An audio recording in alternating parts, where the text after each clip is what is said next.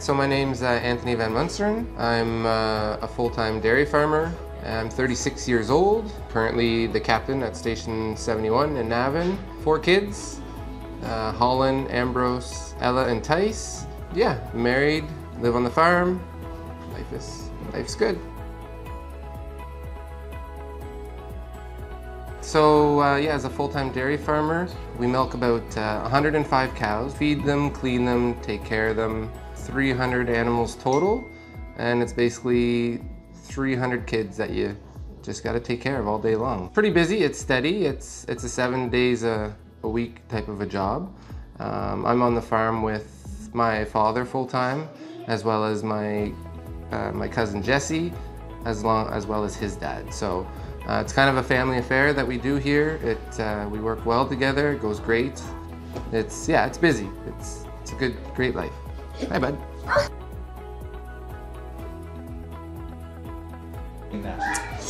Yep, so I'm a volunteer firefighter. I've been volunteering uh, since 2004. Um, I became a volunteer actually when I was uh, attending college in Kemptville.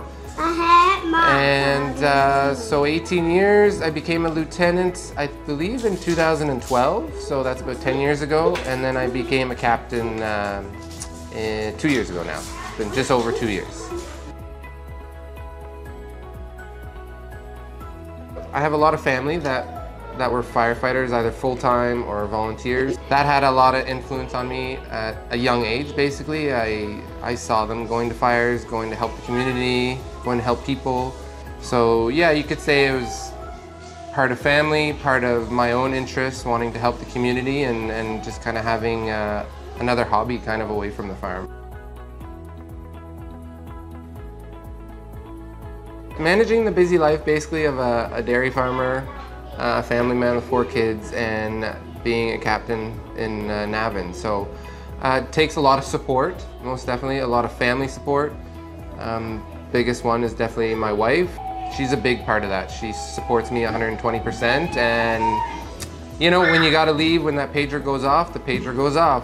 Um, also family, you know, people on the farm, my family on the farm.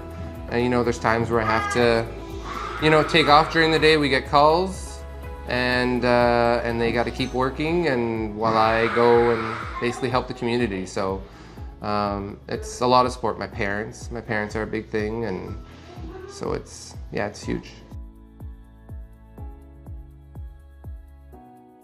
Yeah, everybody's very supportive of it, and that's that means that means a lot. At the end of the day, you need that support. Basically, it's it's really important. So.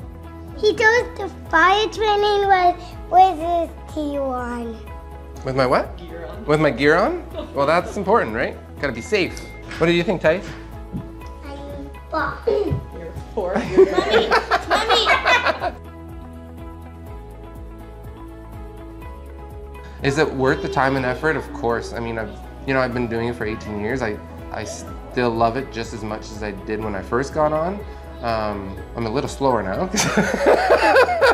you know, I'm not 18 or 19 anymore and as much of a go-getter, but uh, but no, it's it's definitely rewarding. It's you know, the big thing is that you're helping the community. You're getting out into the community, doing these, you know, the events with the community. They recognize you. They recognize the fire service. Um, yeah, it's yeah, I love it. I would.